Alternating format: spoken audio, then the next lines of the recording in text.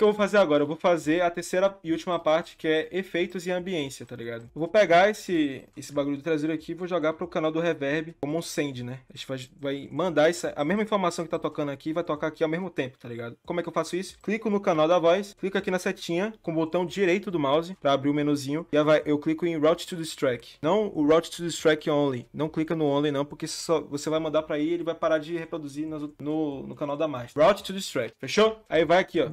Ok. Tá, os dois estão reproduzindo o som ao mesmo tempo. Eu não quero assim. Eu quero fazer o seguinte: eu vou colocar o main M reverb.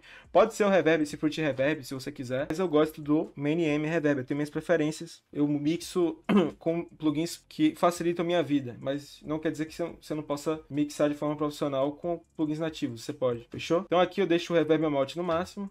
Ok, e eles querem ser como eu.